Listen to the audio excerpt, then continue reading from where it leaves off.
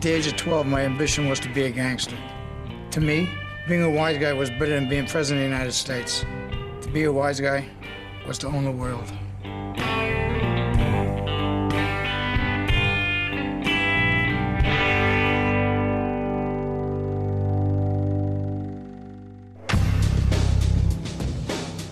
This is Henry Hill. Henry spent half his life running with one of the most violent mafia gangs in America, having to do whatever was asked of him to survive. His life in the mob was made infamous by Martin Scorsese's gangster classic, Goodfellas. Goodfellas is widely regarded as the most unflinching portrayal of life in the mafia ever made. And this scene of a brutal mob slaying actually happened in front of Henry Hill.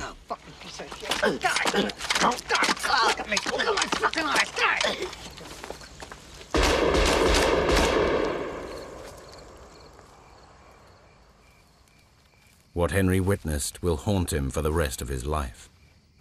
We used to turn my fucking stomach, you know. And I, I, I mean, I lived in fear every fucking day of my life. But Henry's real life in the mob was far more vicious than Goodfellas could ever portray. It's extraordinary. I don't know what kind of a person it makes you become. I was fucked. I was literally fucked, you know what I mean? And where the movie ends, the darkest part of Henry's life began. That's when life really became insane. In a bid to save his own life, Henry became a government informant and betrayed his childhood friends. The mafia issued a multi-million dollar contract on his life. They were not going to take this lying down. They were going to look for Henry, and they were going to look to have him executed. It's not a way to live. I mean, he might as well be dead. This is the whole story of Henry Hill, told by the few that survived. Why I'm still here, why I'm around, heck, I don't know. I got those guardian angels on my shoulder, some, you know, for some reason.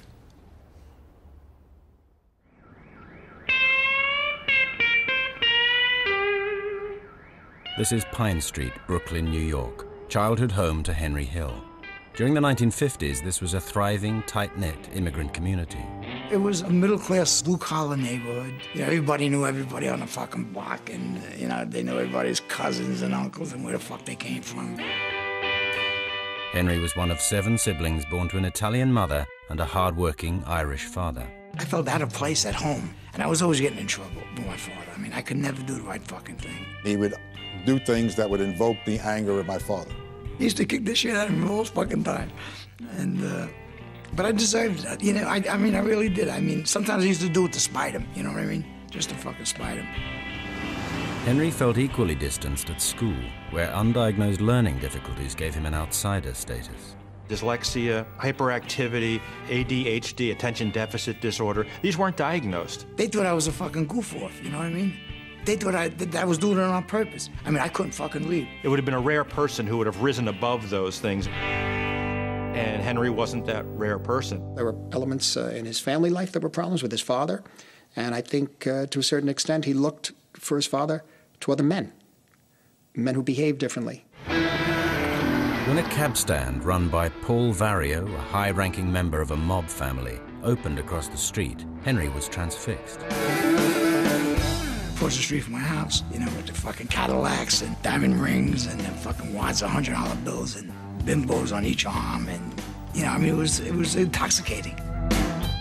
For whatever reason, I guess because of Henry's charm, they uh, they took a shine towards him. And they patted me on the fucking back and gave me fucking fives and tens. And that day, you know, you know, in the 50s, that was a lot of fucking money. He became a member of the crew just as the movie shows when he was when he was a young kid. At 13, I was making more money than most of the grown-ups in the neighborhood. I mean, I had more money than I could spend. I had it all.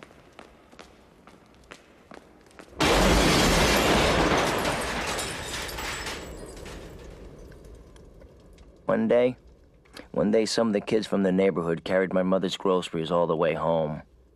You know why? It was out of respect. Behind him, an inferno erupts, uh, as if he's in hell, basically, because that's where he's going, ultimately. When he first started earning money and he would try to give gifts to my mother and my father, they would never be accepted, not one dollar. So he would try to demean, well, I make more in a week than you make all year, you know, during a holdup or robbery or whatever. These things broke my parents' heart. I thought it was a fucking game, you know. Here, take this fucking pistol, shoot, it, shoot that fucking window a couple of times, you know. Bing, bing, bing. I mean, it was exciting. You know, it was it was intoxicating. Henry didn't realize he was becoming involved in one of the New York Mafia's most violent crews, run by Paul Vario, a capo or captain in the Lucchese crime family. He treated me better than he treated his own sons. I mean, I love the guy. You know what I mean? I, you know, I did. Paul Vario was probably one of the most frightening people I've ever been around. He had an aura of menace about him that was quite remarkable, but the Paul Sorvino characterization didn't pick it up at all. In Goodfellas, Paul Vario was played by Paul Sorvino. The portrayal was of a brooding fatherly figure. In reality, Vario was capable of acts of brutal violence. It was on these streets that Vario would reveal his true nature to an impressionable Henry Hill. Must have been 13, 12, 13 years old, and took the fucking baseball bat out of the back of the fucking car, walks in the fucking bar, and I could see it, you know, from where I was. And he starts hitting the fucking barmaid with his fucking baseball bat. I mean, beating the shit out of this fucking woman, you know, broke a fucking collarbone. She she ratted on him that he was going out with it, you know, to his fucking wife or some bullshit. You know, it was just, you know, stupid shit like that. But I mean, fucking holy fuck, because you know, I I never seen that part of him, you know, at that you know at that point. You know, and then I started to realize, you know, these fucking guys are fucking gangsters. Yeah, I mean, you know.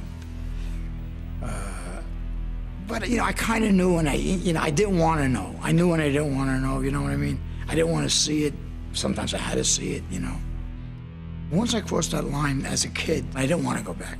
I was spoiled. I was greedy. Uh, you know, I, you know, I think back sometimes. You know, why, you know, why, why did I stay? Through Paul Vario, Henry would befriend Jimmy Burke, a gangster far more unstable and psychotic than Goodfellas could ever show. The film actually kind of softened him up. I wouldn't want to see what he was capable of. Let me put it that way. Together, they would pull off an audacious heist that would finally earn Henry the underworld respect he craved. It's my fucking, it's, it's my payday, you know? This is Henry Hill. His early life in the mafia was the basis for Martin Scorsese's gangster classic, Goodfellas. You know, it's very hard for people in that world to make a straight living. It's very hard for them to do it. Um, it's like it's like an addiction. Craving money and power, a teenage Henry Hill had chosen to run with one of the most violent mafia gangs in New York, run by Paul Vario, a capo in the Lucchese crime family. It's a very evil environment where people are concerned about what their next score is going to be and whether they're going to get killed. Through Vario, Hill would meet two of the most psychotic gangsters in New York, far more brutal than the movie could ever portray. Tommy was just a fucking loose horse, a fucking homicidal fucking maniac. While showing Henry the path to underworld respect, they would entrench him in a violent life that he would never escape.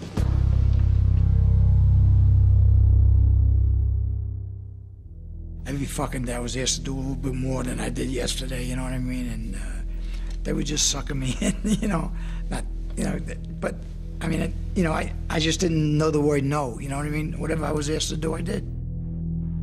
Sensing his inevitable fate, Hill made his first of two ultimately doomed attempts to escape the clutches of the mafia. I figured, fuck it, you know, let me join the army. Maybe these fucking people will leave me the fuck alone, you know what I mean?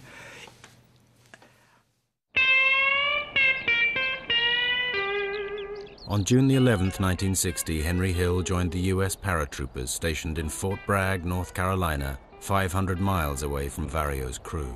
It was sort of a feeble attempt that he would make periodically throughout his life to distance himself from this, this gangster way of life. I don't know, maybe I was bored with that fucking shit, you know what I mean? Uh, you know, I was ready to move on in my life and didn't know how. However, Henry's life of crime was already far too ingrained. It's very hard for people in that world to live what you would say uh, a more straight existence. I got in a lot of trouble in the army. I had a couple court martials, uh, you know, drinking and just fucking carrying on fighting the Marines. He started to resume some of his criminal activities that he learned in Brooklyn, such as gambling, shylocking. He was lending people money. After spending two months in a military stockade for fighting and stealing a sheriff's car, Private Hill was discharged from the U.S. Army. When he had a bad run with the Army, he went back to the welcoming arms of the Vario crew, and he found a home there. It was right there, you know, and they, they were always glad to see me come home, and you know, then it was, then it was a lot different. You know what I mean? Then it was, it was, it was the real fucking deal. Henry's return to mafia life was sealed when he met Jimmy Burke, played by Robert De Niro in Goodfellas. However, De Niro didn't portray the true brutality of the real Jimmy Burke. He was a maniac. He was a fucking maniac. And people knew that they couldn't cross that fucking line with him. You crossed that fucking line with him, you were dead. And you didn't get a second chance. You know, he'd he'd just you to fucking death, you know, take you to dinner and then fucking kill you, you know, for dessert. I mean, that's that was Jimmy. With his fearsome reputation, Burke was Hill's ticket to money and underworld respect. Somebody like Jimmy the Gent was a terrific mentor. He would teach you how to pull burglaries, robberies, big holdups, how to deal in cocaine, how to deal in heroin. He knew the ropes. No matter what it was. I mean, if it was fucking dealing in stocks and bonds or fucking uh, uh, or hijacking a truck or fucking whacking somebody, you know what I mean? Jimmy, he had the answers, period. In the Mafia, the key to respect was earning big money, and Jimmy Burke showed Henry the way when he introduced him to JFK Airport. When Burke was finally arrested, he was flying in a plane over JFK Airport, and he looked down, he smiled, he said, One day all that was mine. By the early 1960s, over $30 billion worth of freight was passing through Kennedy Airport every year. Burke taught Hill the art of hijacking the cargo. Jimmy's main thing was hijacking trucks out of the airport. Sometimes we'd steal two fucking trucks, three trucks a fucking day out of there. You know, and we had warehouses, and we had fucking forklifts, and we had fucking, I mean, we had it down to a fucking science. Hijacking airport cargo had become such a problem that the US government made a film warning freight companies of the mafia's activities. The hijackers easily ply their trade and too often successfully avoid apprehension. Sergeant, I just lost one of my trucks in Brooklyn. The film was too little, too late. The mafia already had a vice-like grip over the airport, with people at every level on the payroll. We had the fucking shop stewards, the fucking you know, the bosses of the fucking union, you know, they were fucked. It was all connected. I mean, the drivers knew they were getting hijacked. The hijackers knew the drivers. Sometimes they're even related. And those who couldn't be bribed were forced into silence through intimidation. They got away with it because people were afraid. People were terrified. They were literally fucked, seriously. they didn't, well, what do you get killed? You know what I mean? They'd find them in the fucking trunk of a car somewhere. Once Hill had mastered the art of hijacking trucks, Burke helped him plan a heist that made him in the eyes of the mafia. It was a major deal, and I think that in that sense, Henry earned respect. In 1968, Hill learned through an airport insider that half a million dollars in cash was being stored at the Air France depot at Kennedy Airport. But there was a problem. Hill informed his mentor, Jimmy Burke, about a straight shooting guard who stood in between them and the cash. Together, they hatched a plan to relieve the guard of his keys. The way they did it, they spent many weeks uh, looking over the, the, the, guy who was in charge of this operation and found out what his weaknesses were. And as I recall, uh, his weakness was pornography and prostitutes.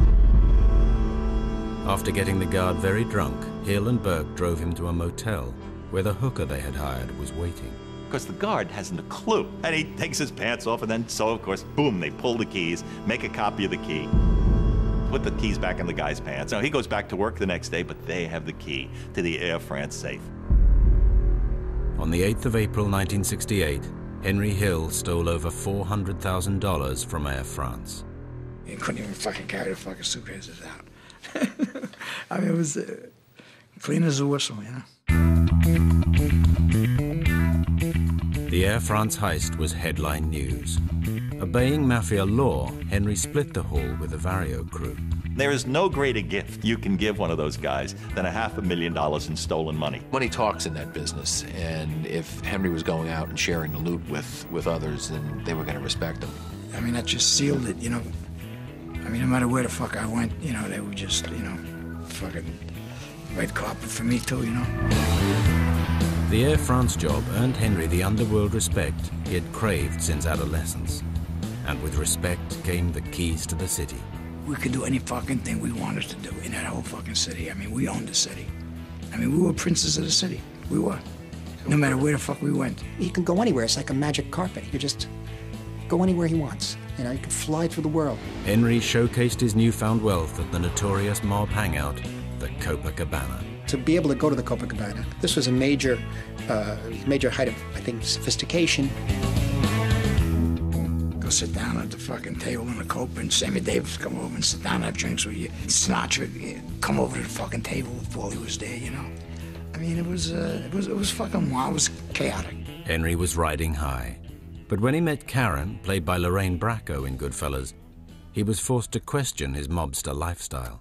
She didn't know what I did in the beginning. You know, she knew that, you know, I kind of, you know, I thought I was a, a, a union delegate, you know. And she was apart from that world that I was in with. Henry and Karen married and moved to this leafy suburb in Long Island. Now Henry made his final attempt to escape the clutches of the Vario crew. It was another way of trying to fucking, you know, insulate myself from those fucking lunatics that, you know, that, that I was partners with and, you know, hung, hung with, uh, you know. Desperate to become legitimate, Henry bought The Suite, a supper club in Queens, New York. It looked for a moment like he might actually become a restaurateur and a bar owner. That lasted just a matter of months. Uh, he, he just couldn't, he, he was drawn back in. He just fucking followed me, you know. And the place, you know, the place thrived and became a fucking headquarters. Within months, the suite was a mob hangout full of the people Henry had tried to escape. One of the regulars was Tommy DeSimone, played by Joe Pesci in Goodfellas. Tommy was just a fucking loose horse, a fucking homicidal fucking maniac, you know. The film actually fucking, you know, uh, kind of softened him up. It gave him enjoyment to break somebody's wrists, uh, murder somebody, beat him up with a bat. Yeah, he, he was actually a psycho, and then he, you know, he, he was fucking strung out on coke constantly. Tommy would end Henry's attempt to go legit by committing a savage murder inside his club. One night it was really late, and a, a guy by the name of Billy Batts was in there. He was a made organized crime figure, very important kind of guy. Jimmy and Tommy just fucking beat his fucking head in.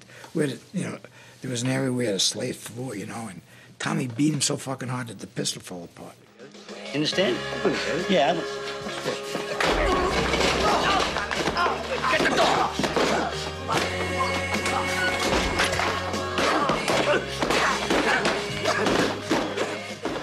In Goodfellas, the hit was over a petty argument, but in reality, this vicious murder was over an ongoing turf war. There was a B story there that never was shown in Goodfellas. Billy Batts had just come home from prison. He had all the shylock business there, the bookmaking business. And Jimmy, you know, when he was away, Jimmy took it all over, basically. And Jimmy knew he had to kill him eventually. They cross a line that unfortunately there's just no coming back, and somebody's going to have to pay for it. Billy Batts was a made man, a fully initiated member of the mafia. The penalty for killing a made man was death. To ensure the body was never found, they threw Batts into the trunk of Hill's car and drove to Pennsylvania to dig his grave. On the journey, Hill made a chilling discovery. Batts wasn't dead. It was sickening. It was fucking sickening. It was actually sickening, you know?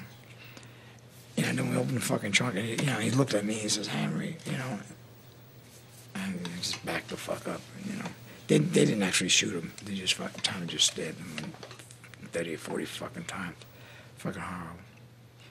That ended Henry's ever being able to walk away. It was over. I mean, the suite was gone. Uh, he was now the participant in a homicide. And uh, his bond now was to those with whom he had done the homicide. I was always there to do what I had to do. But yet, you know, it used to turn my fucking stomach, you know. And I, I, I mean, I lived in fear every fucking day of my life. You know, I, I, I, I, I did, you know. I mean, I, I, I was no. uh, you know, I, I didn't like the violence involved, you know, but, you know, I, if I showed any sign of weakness, I know I'd get fucking killed. Henry's dreams of escaping were over. He was back working in Vario's crew, having to do whatever was asked of him to survive. In 1972, a seemingly innocuous trip to Florida would result in his first incarceration. Ultimately, they just do one thing too many, and they think they're going to get away with it, and they're not. He and Jimmy uh, went down to Florida to pick up some money that was owed. There was somebody had had uh, owed a lot of money to some organized crime guys. And we snatched him out of the fucking bar and uh, beat the fuck out of him, you know, smacked the shit out of him, pistol whipped him. My recollection is that we later found out the facts of that case and that they had chained somebody behind a car and dragged them for a good, a good space. And uh, but to Henry, that was just smacking somebody around a little bit. He paid the fucking money the next day, but his sister worked for the FBI. We didn't know that. On November the 3rd, 1972, following a successful FBI investigation, Henry and Jimmy Burke each received 10 years in federal prison on charges of interstate gambling and assault. Fucking, you know, no big fucking deal. You know, 10 years, I'll do six years, you know. I still be a young guy when I got out, sure enough. You know, then fucking prison was a fucking joke. You know, it, when you think of prison, you get pictures in your mind of all those old movies with rows and rows of guys behind bars. But it wasn't like that for wise guys. It really wasn't that bad, except that I missed Jimmy. He was doing his time in Atlanta. Benny, give me two steaks while you're in there, all right, John? Sure enough, she goes in I mean, everybody else in the joint was doing real time, all mixed together, living like pigs. But we lived alone. We give the impression of it being breezier than it was. To add to the irony of it, with the music that's playing and that sort of thing and getting the lobsters. But this was we, we had guards who told us this is the reality too. I mean, it was all there. It's all there. I mean, there's certain people who were privileged. Hill's privileges were paid for by bribing the guards, and that meant earning on the inside. Hill turned to fellow inmate Paul Mazzei, who showed him how much money could be made dealing narcotics. They used to joke to us, you fucking stupid fucks, you fucking around with trailer trucks, we'll fucking give you two shoe boxes full of fucking heroin, and it's ten times as much money as you make off ten fucking trailers. You know, sounds like a pretty fucking good idea. That starts to eat away, and money always corrupts. Um, corrupts the corrupted. It was a turning point for Henry. By selling narcotics, Hill was breaking a sacred mafia edict that was punishable by death. The reason that they have the edict is not because they have any moral compunctions about the use of narcotics or selling narcotics. It's because the experience going back to the 50s and 60s is that drug dealers turn on the higher ups, and, they, and the higher ups in the in the organized crime families wanted to ensure they wouldn't be the uh, the victims of their underlings who got caught selling drugs. It was uh, it was too easy. You know what I mean? Henry was now concealing his part in Billy Batts' death and his drug dealing from his mob bosses, and he was getting hooked on the drugs he was secretly selling. The high life was slipping away. I was fucked. I was literally fucked. You know what I mean? Mere months after his release from prison, Hill would become involved in the biggest cash robbery ever committed on American soil. That's when life really became insane. What should have been his defining moment would mutate into an orgy of violence, murder, and ultimately betrayal. I was a dead man walking, and I knew it. By the time Henry Hill was released from prison, his life in the mafia was spiraling out of control. That's when life really became insane. He had been involved in the execution of initiated mafia member Billy Batts and had started dealing drugs. He knew when the mafia finally found out he was a dead man. They were gonna kill me. Or kill my wife, or kill my kids. And in 1978, Hill and mafia mentor Jimmy Burke pulled off the notorious Lufthansa heist, a robbery that spawned a vicious killing spree and ultimately led to Henry Hill's cold-hearted betrayal of the mob. You didn't get me, motherfucker. No, I got you.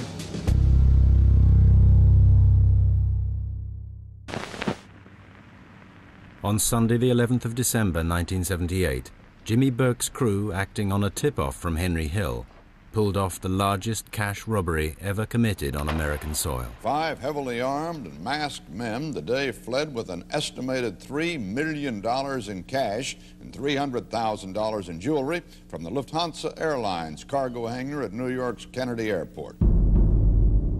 The robbery was front page news across America. The actual figure stolen would rise to $5 million in cash and a million dollars in jewels. The news of the robbery was not only on the radio, but it was television. Of course, the tabloids uh, splashed it across the front page, and uh, it was it was huge news. Everybody in the fucking city knew it was us. The whole fucking. I mean, there wasn't a wise guy that didn't know that we didn't do it. You know what I mean? And the fucking feds knew it too. Within a day or two, uh, law enforcement knew for sure, based on what their informants were telling them, that it was Jimmy Burke's crew that had carried out the robbery. The FBI's first breakthrough was the discovery of the van used in the robbery, driven by Stacks Edwards. He was supposed to get rid of the fucking van. And they found his fucking fingerprints on it. Before the FBI could interrogate Stacks, Burke had him executed. The killing spree had begun. It was very hard to develop evidence in the Lufthansa case because people who were involved started turning up dead. The FBI put the entire Vario crew under surveillance. It wasn't long before they started giving themselves away by showing off their newfound wealth. Stupid, I mean, guys with fucking IQs of, uh, you know, 26 are fucking going and buy fucking new Cadillacs, fucking $40,000 mink coats and shit. And little by little, men who showed off that they had the money were killed. He just tried to eliminate everybody. And he had to, because people were going fucking nuts. Fucking three month period, 12 fucking guys. And one wife, they found torso of out in the fucking, rolled up on the fucking beach in Rockaway. One of them wound up getting killed and hung up in an ice truck, and he was frozen stiff. It took three days from the body to thaw so they could give it an autopsy. I can remember one in particular who we brought into the strike force, told him that the FBI had informant information that he was going to be killed, and he listened politely and uh, looked at both of us and said, Can I go? And he did, and he walked out, and his body parts washed up several weeks later. Within months, Jimmy Burke, with Paul Vario's blessing, had slaughtered everyone involved in the heist. Henry Hill was the last man standing. I seen the handwriting on the fucking wall. You know, I didn't have no way out. You know, I mean, I was fucked. I was literally fucked. You know what I mean? Henry knew Jimmy wanted him dead. He had to find a way out. You know, from you know, from having fucking life, you know, on Easy Street, you know, open, you know, three or four restaurants. I got a fucking million dollars cash. You know, I didn't have to launder it. You know, open a few restaurants. Now I'm in the fucking heroin business. Throughout the Lufthansa killing spree, Henry had become heavily involved in narcotics trafficking. He knew that his mafia boss, Paul Vario, would order his death if he ever got caught. We knew he was uh, involved in uh, the sale and distribution of heroin, cocaine, quaaludes, any number of different illegal drugs. Hill's drug dealing had attracted the attention of the Nassau County Police Department, who placed him under surveillance. With Vario, Burke, the FBI, and the police closing in, amazingly, he would find a way to make his problems even worse. Very quickly, he began to snort heroin, uh, became addicted to heroin, became addicted to cocaine, and um, uh, his judgment was pretty cloudy in those days. He wound up putting a lot of drugs out on the street and didn't get paid for it. Couldn't remember who, half the time, who we gave what to. I got so fucking wacky on drugs. I mean, not wacky. I mean, I was able to function, but I was, you know, strung out on you fucking name it. I was strung out on it. The anxiety and the pressure that he's feeling, I think, are really so evident uh, the way Scorsese shot the scene.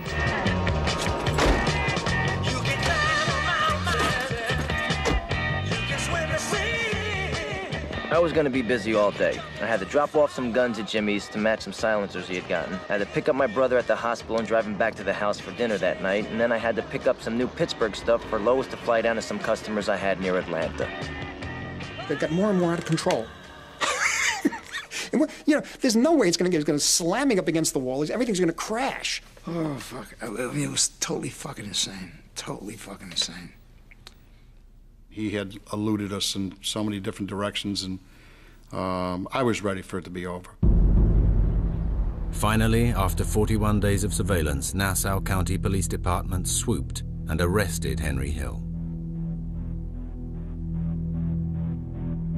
the little fucking lights went on, and the fucking, you know, the blue lights and the red lights, and fuck, I was fuck, oh God, you know. He got caught. He got caught.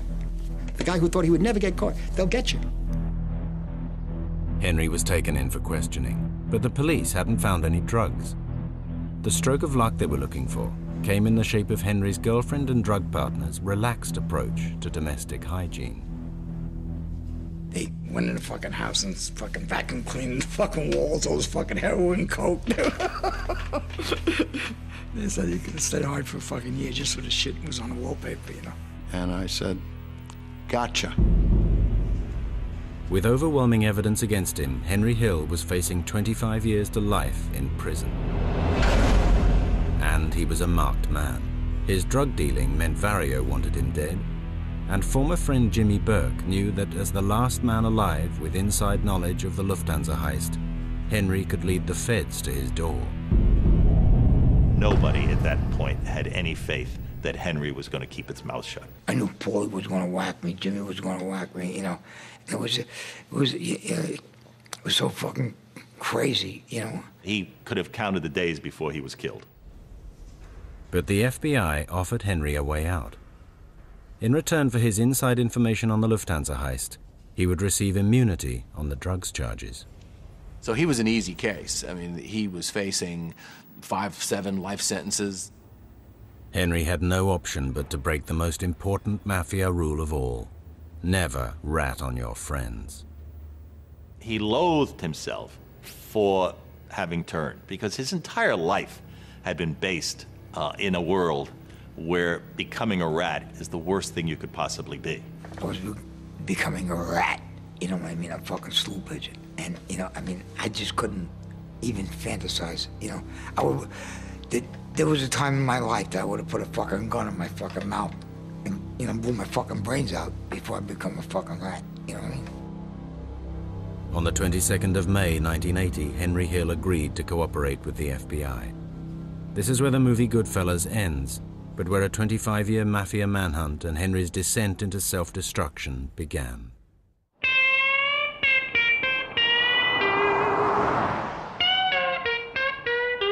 Hill and his family were moved by the U.S. Marshals to Omaha, Nebraska to begin their new lives in the Witness Protection Program. The first night he was in the program and lying in his house in absolute silence in the dark, he said, he said, I was scared out of my mind. Not that the guys from New York were gonna, gonna come get me. It's, it's, I can't do this normal thing. It was a culture shock. I mean, seriously, it was.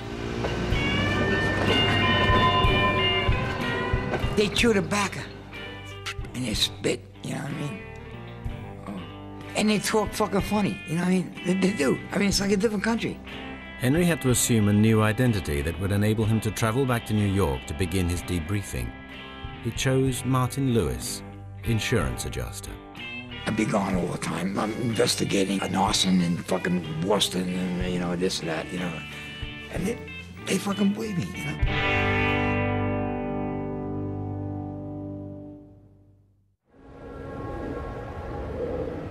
In New York, Hill began his debriefing about the Lufthansa robbery so the FBI could finally get to Jimmy Burke and Paul Vario.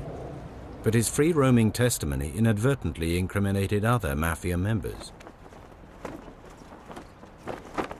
You know, I just told the fucking truth, and every time I told the truth, it opened another fucking can of worms, and you know, and it started another investigation and another fucking case, and I had no idea that this was going on. We were able to make some significant cases and develop all sorts of other evidence that uh, led to other investigations and prosecutions. You know, and then I said, well, you know, you, you got to go on a stand. And I said, no, no, no, I, I, I, didn't, I didn't make that fucking deal with you guys. Well, you don't want to fucking stand, you know. Hill was forced to take the witness stand and come face to face with the mafia bosses he was betraying. It was tough. I mean, looking at these fucking guys, you know what I mean? These bosses of bosses and shit, you know? They were absolutely the highest quality uh, uh, targets that we had uh, in the most difficult cases that we had, and Henry was, was an extraordinarily valuable witness. He did his job for the feds. I mean, he, he, he, he showed up in the courts in New York, came back, many times and was invaluable in breaking down a huge uh, gang empire in, in New York. Henry's testimony helped convict over 50 mafia members. They were not going to take this lying down. They were going to look for Henry and they were going to look to have him executed. Back in Omaha, Henry began to spiral out of control. Part of him wanted to mess up and punish himself, so he was becoming extremely self-destructive. I couldn't live with myself. I mean, I, you know, I just, you know, I should take a bottle of Stolies and fucking drink it every night, you know what I mean? He was uh, a, a, total coke freak, uh, pill freak. Uh, I mean, he was on everything that he could take. He would ingest anything. In between trials, the FBI was continuing to debrief Hill about Lufthansa, as he was the last surviving witness. We were running through the robbery and where he was during the robbery, and Henry said, well, I was in Pittsburgh. Ed or I said, well, what were you doing in Pittsburgh? And Henry kind of smiled his little smile and said, well, you're not going to like this. Three years before his arrest, Henry Hill and Jimmy Burke were fixing basketball games at Boston College.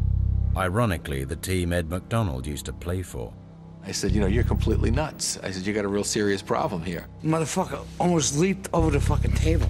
He tried to grab me, but he went berserk. Together, Burke and Hill had bribed three players to fix the results of basketball games, including starting center Rick Kuhn, who was dragged in front of the U.S. courts. With Kuhn and Hill's testimony, the FBI could finally bring Burke to trial. Burke was arrested. Suspected of murdering at least 50 people, the mastermind of the Lufthansa robbery would face trial on a seemingly innocuous gambling scam. And on the 27th of October 1981 began the US versus Jimmy Burke. The courtroom was packed with media, with organized crime figures, and with people who were interested in the case. Henry Hill would once again have to take the stand, this time against his former mafia mentor. I felt like a fucker. I mean, I had to look at him, you know, but I knew that this motherfucker ordered my death. You know what I mean?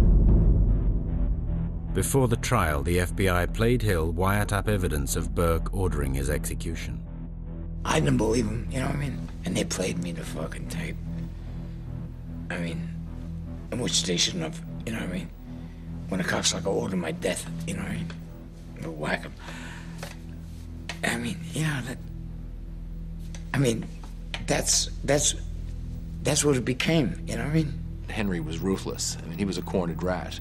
And uh, while he might have been uncomfortable testifying against these people, uh, he recognized that these people were looking to kill him. I was able to look the cocksucker in the eye, you know what I mean? I said, Jimmy, you didn't get me, motherfucker. No, I got you. Jimmy Burke was convicted and would spend the rest of his life in prison. At the end, at the end, I was just, you know, disposable. I was just, you know, they were going to kill me. Hill's testimony would be equally damaging to Paul Vario, on trial for extortion at Kennedy Airport. Put his fucking head down. You know, fuck you, we didn't kill you, you cocksucker. You, you got us. Yeah, I got you. Motherfucker, you know, You'd have got my wife and my fucking kids, motherfucker. You know what I mean? I, I knew what they were capable of. You know, I mean, I seen it all my life growing up. Henry's testimony helped convict Paul Vario. He was sentenced to a total of 12 and a half years in Pittsburgh Federal Penitentiary.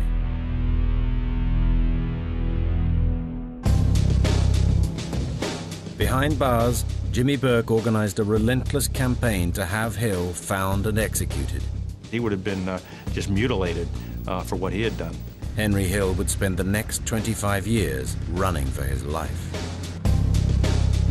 In 1980, Henry Hill became a government informant, betraying his childhood friends Jimmy Burke and Paul Vario, condemning them to spend the rest of their lives behind bars. I beat them to the punch. You know what I mean? I did. Burke had issued a multi-million dollar contract on Henry Hill's life. There would be plenty of takers. They were going to kill me or kill my wife, or kill my kids, or, you know, I mean, anything to get to me. They would all love to make their bones killing Henry Hill.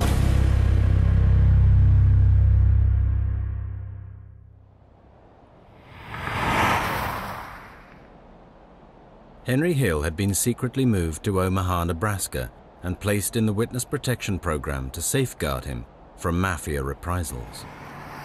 They looked out for me. I mean, they knew what the fuck it was. It was a big fucking deal back in 1980. You know, being a rat. You know, I mean, I was the first fucking guy. You know. He was clearly um, in, in a great deal of danger. His family was in a great deal of danger. In 1981, through a government informant, the FBI received the news they had been dreading. Burke was closing in. Burke had somebody that told him where Henry was allegedly at. They notified us and we don't take chances. We moved him out. Phone rang. Show some clothes in your fucking bag. We'll be there. We're outside right now. I believe he had about 24 hours. Gotta go. Throughout the 80s, Hill and his family were moved repeatedly by the US government. The threat of mafia execution was ever present. He was in a great deal of danger, and this contributed in many ways to uh, his alcoholism and his drug addiction. He became highly addicted to cocaine and heroin and you name it. And Henry's drug addiction was about to lead him into the arms of the mafia.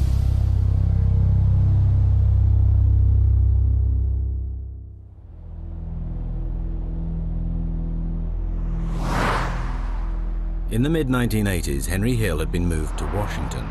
With a serious addiction and mounting debts, he returned to his life of narcotics dealing. And in Washington, Hill fell foul of an undercover police sting. I knew the guy was a fucking cop the minute I met him. You know what I mean? I, you know, he was a fucking agent. I knew it. And I couldn't convince these other fucking assholes. You know, and they dealt with him. I got popped. Henry Hill was arrested on narcotics charges. Worse still, he had lost his witness protection status through seven years of continually breaking every rule in the program. The witness protection program failed, in my view, for Henry because Henry is a weak person. Um, he wasn't able to uh, to discipline himself and to uh, to change his life. Passing bad checks and uh, uh calling home back to New York, you know, which was a no-no. That was forbidden. Don't use the phone. Go fuck yourself. You know what I mean? Fuck out of here. It's not so much that the program failed Henry as that Henry failed himself. And his usefulness for the government at that point was pretty much at an end. He had already given up everything he had to offer to um, negotiate. He had nothing left. It was a strong case. He went to trial. He was convicted. Things couldn't have been worse for Hill. Awaiting sentencing, he was sent to Terminal Island in California, a prison populated with mafia inmates. When he arrived, he found out that there were members of the East Coast Mafia who were who knew who he was and what he had done to their guys back east. They were doing time there, you know. They were doing life sentences and fucking 20 years and all this other fucking shit. Well, they, they tried to kill me. Two attempts were made on Hill's life. And though his usefulness to the government was over, Ed McDonald came to his rescue one last time. I wrote a letter because I thought it was only fair to talk about the uh, the convictions and the cases that he had contributed to. The judge waved the letter in front of the prosecutor and said that uh, because of what Henry had done and because of the pressures that he was under, uh, he was going to sentence him to a probationary sentence. I had to do another year in drug rehab, and they sent me to this fucking you know place where I you know supposedly got rehabilitated.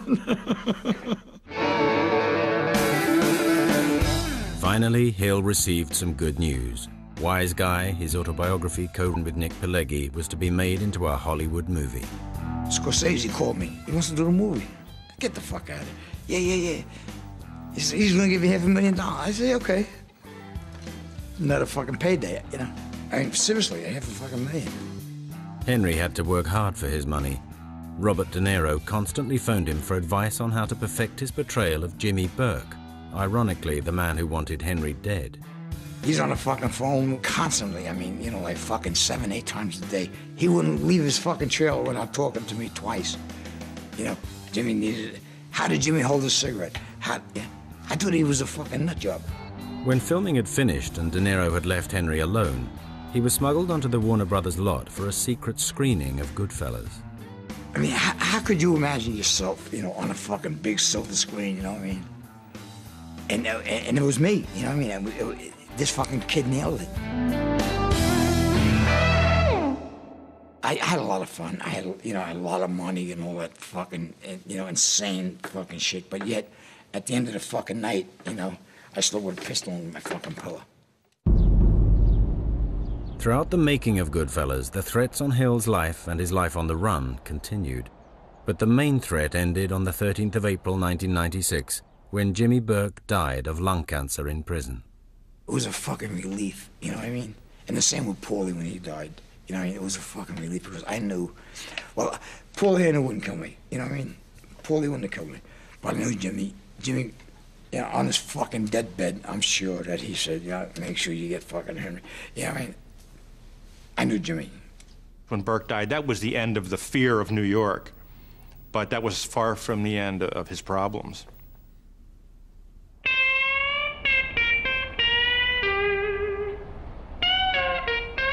Today, Henry Hill lives in the Midwest. He and Karen are divorced. The money from Goodfellas is spent, and he makes a living as a chef in a small Italian restaurant. For the most part, he never breaks a promise unless it has to do with um, alcohol. And if it has to do with alcohol, he'll break it. I'll, I'll say this to this fucking moment. I mean, you know, I don't like being sober. I don't. I've heard him that many times. All I really want to be from here on out is the best damn drunk in the world. He is plagued by his addictions and haunted by his former life. Living a lifestyle where he lived by a code and broke it, uh, I'm sure came into it. He also continues his life of crime. This last deal, he goes through the security at the airport with drugs in his carry-on bag. I mean, how dumb is that? I think what you see of Henry today is what you'll see of him the rest of his life. He'll be in and out of trouble. I don't believe he can ever turn his back on it. Is it possible that Henry will find redemption and walk the straight and narrow? Um, you know, stranger things have happened. He's getting near the end now, uh, and it's quite possible that as he looks at his final days, he might get religion, but I wouldn't bet on it. I'm on, I'm on borrowed time, and I'm happy. I, you know, I am. Believe it or not, I mean, it's fucking sick as it sounds, you know, and as fucked up as my life was and is and going to be, you know, probably the fucking day I die. But I don't hurt nobody anymore, you know what I mean? And I don't hurt.